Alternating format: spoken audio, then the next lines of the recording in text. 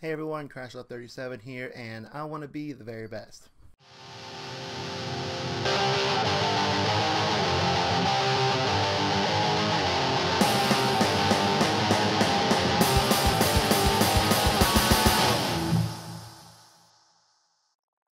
So Pokemon Go is finally out after a very rocky launch, but it was really worth the wait. The app is life-changing. You need a reason to go outside, go catch Pokemon. Need motivation to exercise?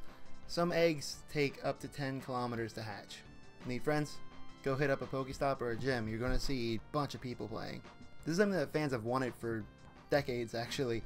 The ability to go catch Pokemon in the real world, kinda. And even though the Pokemon themselves might not be real, your experience will definitely be real. I spend about maybe an hour or two every day just going out, walking around, catching Pokemon, getting items, battling gyms, and it's it's genuinely fun, especially if you have someone to do it with you. Like you're not just going around randomly walking or looking at art installations or whatever, you're actually going on an adventure. The graphics are pretty decent. Each Pokemon has a fully animated 3D model. The music is great. It was actually composed by Junichi Masuda who did the, you know, music for the original games.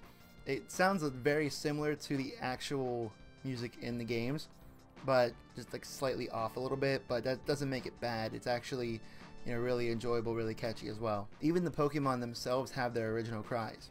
Not just that, but the Pokeball sounds when it rocks back and forth, the catch sound, everything is genuine. That being said, there are some problems with the app. If you haven't watched it yet, Jonny Reps did a video, a Jonny Rant on Pokemon Go.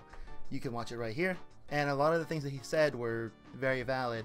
There's not a whole lot of gameplay, but again, it is a free mobile app, so I'm not really complaining about that. But as of right now, about almost a week after the US launch, there's still a few server issues.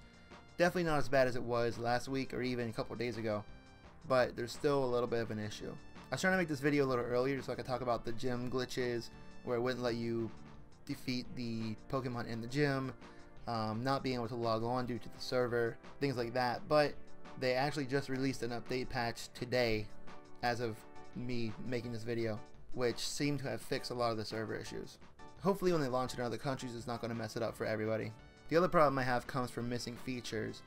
Um, Pokemon Centers, which was in every game, which is kind of a key feature. Being able to heal your Pokemon for free. I think every hospital should be a Poke Center. Just makes sense. You can't battle other players, you can't trade with other players. I know trading is coming in a future update, but we haven't heard anything about battling.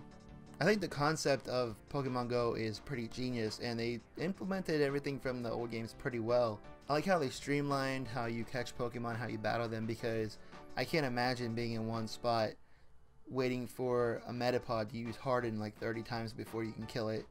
The game wants you to go out and explore. And the different Pokemon, the stops, the gyms, they make you want to go out and walk around. Uh, explore new places that you haven't been yet to maybe find new Pokemon. I'm not going to rate the app right now. Um, we just got over all those server issues. They still have new things incoming like trading and new ways to interact with Pokestops and gyms. Don't know what that means yet, but hopefully they'll add some kind of player interaction feature because as of right now you can't interact at all with other players. So even though you have three teams, you have to go into other uh, social media apps to find other players or plan any meetups, things like that. So they're definitely missing out on that aspect of it. So that's pretty much my review for Pokemon Go. I think it's amazing.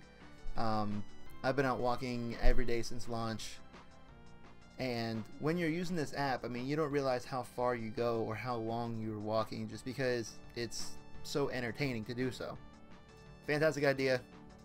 Good job, Niantic and Pokemon Company. You got it. Way to go. The Pokemon Go Plus or whatever that wristband thingy is is coming out soon. $30. Um, that's a lot for it, but hopefully what it does will help save battery life by not having to have the app open all the time. Or I'm not even 100% sure what it does, but hopefully it'll be worth the money. So leave us a comment, let us know what team you're in. Uh, me and Jonny Reps are both Team Instinct, the only option. Uh, give a like, subscribe, follow, all that good shit. And get out there and walk. Catch Pokemon. Do what you gotta do. See you next time.